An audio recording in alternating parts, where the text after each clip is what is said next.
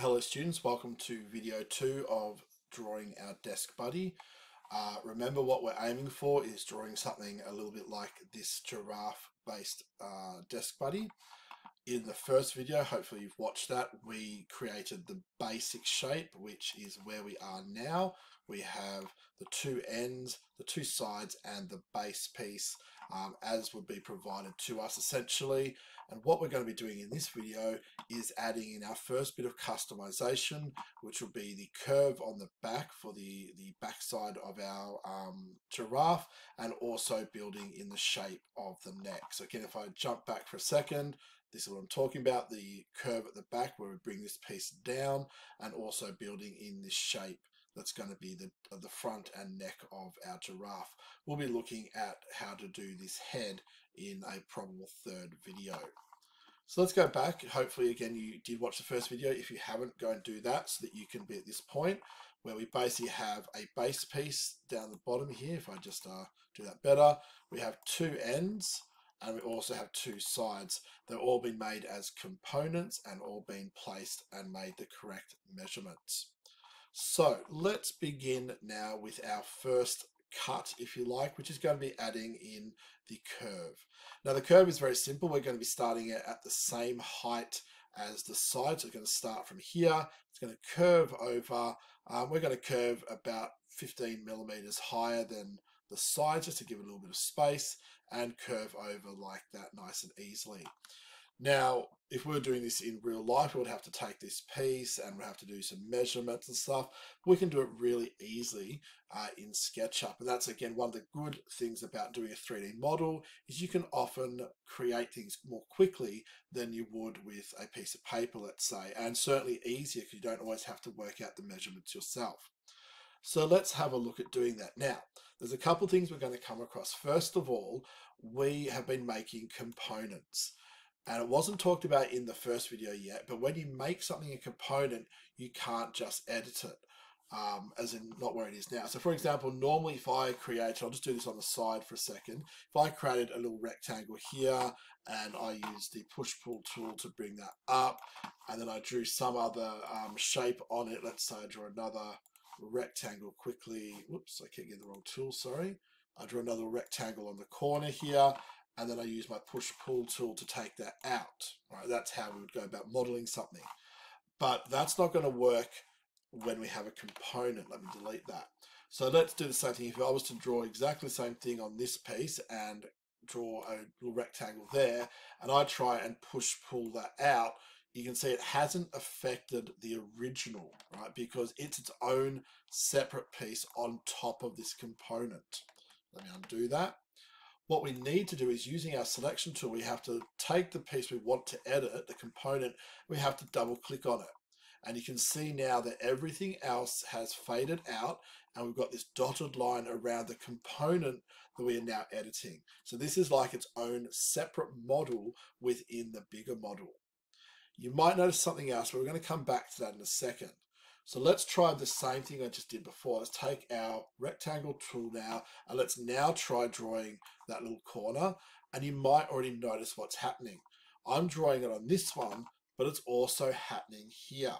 Let's do the same thing. Let's push that out for a second and you can see it's done it to both. Because when I made this component in video one, I then duplicated or copied this whole component and put one here.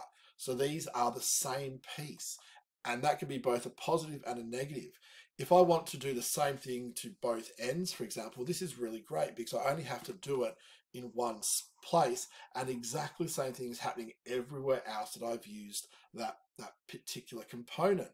But in this case, it's not what I want. I don't want to edit this one and this one the same. They're going to be different. So let me undo what I've been doing and let's talk about that for a second. So the way we drew it was right. Create a component. This is exactly the same to begin with. But now what we want to do is make each of these two unique. So I'm just going to come to this one that I'm going to call the front for the moment. I'm going to right click on it and I'm going to now change this one by making it unique. Okay, so make it unique simply means it's now not a copy of this anymore. And if I make changes to one, it's not going to make changes to the other. And we'll see that now when I double click on my back one, you can see this front one has also grayed out, just like the sides and the base, because all I'm going to be doing is editing this back one now, which is exactly what I want. So you can easily make a component, duplicate as much as you need, and then you can go and make them unique so that they don't edit the same way, or you can keep them together if you feel that you want to do the same edits. Let's have a look now. So I'm going to now use a curve tool. So I'm going to be using the two point arc, okay? Um, you can see there are different types of arcs and circles. I like the two point arc and you'll see why in just a second for this particular task. So I'm going to choose a two point arc. Now, as I said before, it's going to come from this side here to this side and up a bit. That's why the two point arc is great because you can click literally on that join there. You can literally pick where it's the side and the top of the are joining together there. And then it's just a case of bringing it up a certain distance up the blue. Okay, so I put point one over here, point two over here, using the fact that the program knows where these pieces are joining, and I'm just making sure I come up on the blue axis, because that would be straight up, not some other random place like this, but up the blue axis. Now, just like before, um, I can put a measurement in, and I mentioned before I'd like to go 15 millimeters higher than the edge. So if I come up any amount and press enter, and then immediately down the bottom, I can still type a number in. So this is, they call the bulge, how far up it's going. So if I type 15, you can see that came up down the bottom and press enter. It doesn't matter how far I actually did draw it, it's now brought it back to a 15 millimeter bulge from the top. So that is exactly what I want. Now taking my push-pull tool, I can see that that is a new shape. So is that, because I've basically drawn a line that splits this into two, and I can push that out. And very quickly I have simulated drawing this in and cutting it off. And that's all I want to happen for this piece. Now to get out of it, choose my selection tool and just click anywhere else. And you can see I now have that piece uh, that has been modified. So that's really good. I've got the back of my giraffe done. I'm now going to want to affect the front of my giraffe. And remember, because I made them unique, um, what I did here obviously didn't happen here, so that's great. Now the way I'm going to do is I'm going to rotate round and I'm going to basically look at this as if I was a front on flat piece. And that's just going to make it easier for what I want to do.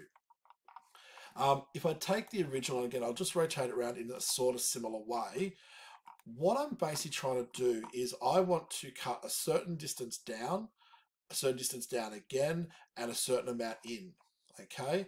And I'm going to do this jump back to my new one by using our tape measure tool and I'm going to be creating what we call construction lines. They're basically like temporary measuring lines that allow us to click and lock things in nice and easily. Now if you remember the whole distance across here was 90 millimeters sorry not 90 millimeters actually forgotten. Let's double check. It was, if I look down the bottom, yep, no, it was 90 millimeters. That's exactly what I want. So what I'm going to do is I'm going to divide this into um, thirds. Now you might notice that as I move across, I'm actually get this dotted line, and that's the construction line I'm talking about. So again, I'm linking to the edge, so you can see it says on the edge, and I'm moving across in the green axes, making sure it is showing the axes. I'm just going to go any distance because like everything else, I can put a measurement in. And because I know the whole thing is 90, I'm going to put 30 in. That's a third of it. So I'm basically going to divide this, sorry, into thirds. So if I press enter, there you go, that line moved. I'm going to do the same from the other side. Type my distance in 30 and I know it's going to be right, but if I was to measure that, you can see it's 30 as well. All right, so I've now divided this into thirds.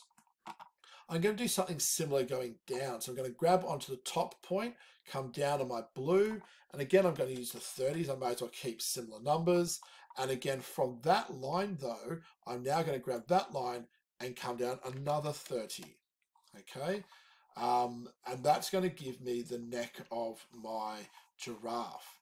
Now, if I just rotate around, I've actually had a, a different thought on that. I don't think I will come down because if I did that, then it's going to be showing this edge. So I'm going to undo that last line and that line. And instead, I'm going to come from here and go up that way. Okay, now the way I'm going to do this is I'm again going to draw a line across from there to there. So that's giving me this line going crossways, but it gives me now a point to lock into. And that's a great thing about construction lines. They give you points to lock. So if I have this line here, I can draw a line straight across to get that line. And it now matches the height of the sides. I could also have done a line from the bottom going up 68 millimeters, which is the height of this side, and I would have got the same thing. But these construction lines are really, really useful. Now, who's going to notice the problem I have? If you are saying that it's a component and these lines are not part of the component, you are correct. For me to now edit the actual component, I need to take my selection tool and double click on the component but those lines are still usable. Okay, so I can still use them to draw. And what I'm going to be doing now is simply using the pen tool in this case, and I'm going to draw from this point, joining onto that line, following this dotted line up to the top. I don't need to draw the top line because it's already there. I'm going to come down to that point, and then I'm going to come across to that point there. So these construction lines were all about giving me just locations that I could easily lock into. Now with my push-pull tool, I can get rid of that part, get rid of that part, and you can see I now have the shape of my giraffe front and neck. Clicking out of there, I can um, close off that component basically, and I'm just going to finish up by cleaning up these construction lines. So I'm going to take my, uh, not tape measure, sorry, take my eraser, and I'm simply clicking and holding my left mouse button down. I'm just going over the lines I don't want. And you can use this to rub out any line, um, but of course, what we're rubbing out here are construction lines. Um, technically, I could rub out any part of this if I was inside the component. Um, so if you want to get rid of a line or a part, this is a really useful tool, but I was just using it to clean up my construction lines. So again, if I rotate round, just so I can see what I'm doing, I now have the back and the neck. So very similar to what I've got here, the back and the neck shape. And I've done that now with, um, with our new one that we're designing. So that's going to be the end of this video. We've taken our original design and we've now added in the shaping. The last step for trying to replicate what I'd previously done is to try and do this uh, head piece. Now that will take a little bit more time, but the skills involved are pretty much the same as what we've been doing. And we will look at that in a moment.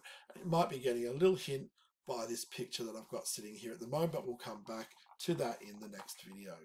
So for now, we're finishing up with the sides, the base, the end with its curving, and the front with the neck and shoulders having been created.